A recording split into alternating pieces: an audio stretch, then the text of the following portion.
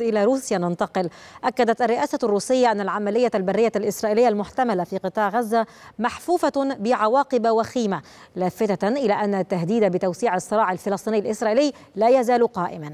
للتفاصيل أكثر حول الموقف الروسي من المجريات الحاد الحاصلة ينضم إلينا حسين مشيك مراسل القاهرة الإخبارية من موسكو. مرحبا بك حسين. روسيا يعني تدخل أيضا على الخط بتصريحات واضحة وبحتى موقفها في مجلس الأمن وبالقرار الروسي الذي قدمته لإدانة ما يحدث في غزة لكنه لم يمرر.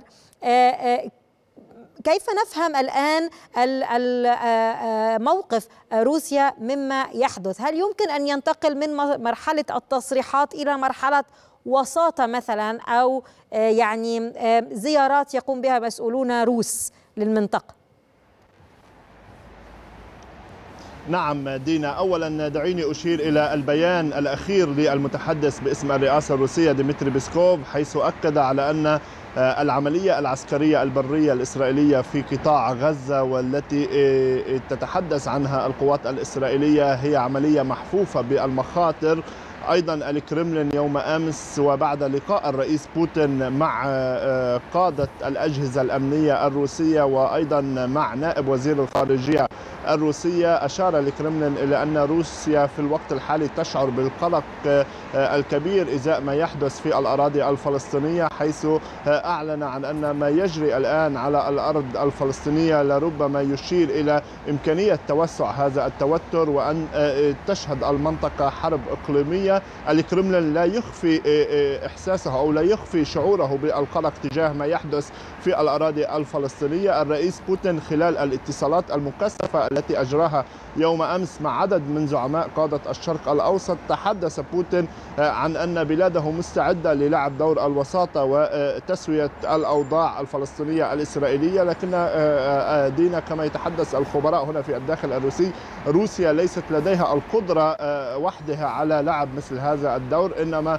الولايات المتحدة الأمريكية هي التي لديها القدرة أكثر على لعب مثل هذا الدور. الخبراء في الداخل الروسي يشيرون إلى أن التدخل الروسي في الوقت الحالي وأيضا البيانات الروسية المتتالية هدفها هو تأكيد للعالم بأن الولايات المتحدة فشلت في الشرق الأوسط وأن السياسة الأمريكية هي من أوصلت الأمور إلى ما هي عليه الآن. كما تعلم دينا روسيا في حالة مواجهة وحالة صراع مع الولايات المتحدة إن كانت يعني الموقف الروسي حسين يعني نستطيع أن نفهمه في ضوء اهتمام وقلق فعليا من تطورات الوضع في قطاع غزة وفي هذه المنطقة أم نستطيع أن نفهمه كانتقام ورد فعل ونكاية في الموقف الغربي عموما والأمريكي تحديدا.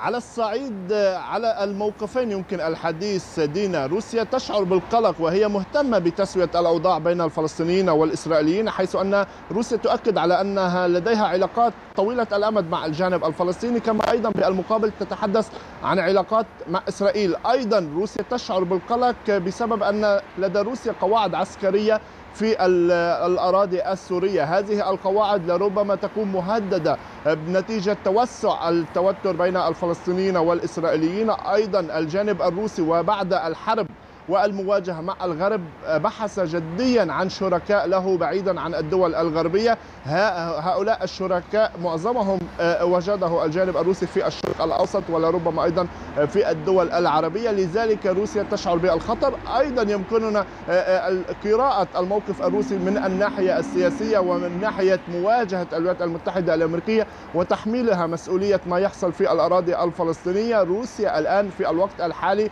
هي منغمسة في الصراع في اوكرانيا لكنها على الصعيد الآخر تريد أن تؤكد للعالم بأن الولايات المتحدة الأمريكية هي من تتحمل هذه المسؤولية، السياسة الأمريكية هي من أوصلت الأمور إلى ما هي عليه الآن، المشروع الروسي الذي قدم يوم أمس عبر المندوب الروسي فاسيلي نيبينزيا لدى مجلس الأمن الدولي والذي يقضي بوقف إطلاق النار بسبب الوضع الإنساني وأيضا إطلاق سراح الأسرى أو الرهائن من قبل جميع الأطراف، هذا المشروع لم يمرر تستمر نتيجة الضغط الأمريكي حسب المعلومات الروسية. روسيا ستعمل جاهدة وخصوصا مع الاتصالات التي يجريها بوتين مع قادة الشرق الأوسط على تسوية الأوضاع. لكنها بالمقابل تؤكد على أن هذا الوضع لا يمكن أن يبقى كما هو. هذا الوضع لربما سيتوسع نطاق التوتر خلال الفترة القليلة المقبلة. وحسب التأكيدات الروسية بأن أي توسع للتوتر وللأعمال العسكرية هذا لن يصيب فقط الجانب الفلسطيني أو الجانب الإسرائيلي إنما سيصيب دول المنطقة بشكل كامل. ولربما روسيا تخشى من إمكانية توسع هذا التوتر. شكرا جزيلا لك حسين مشيك مراسل القاهرة الإخبارية كنت معنا من موسكو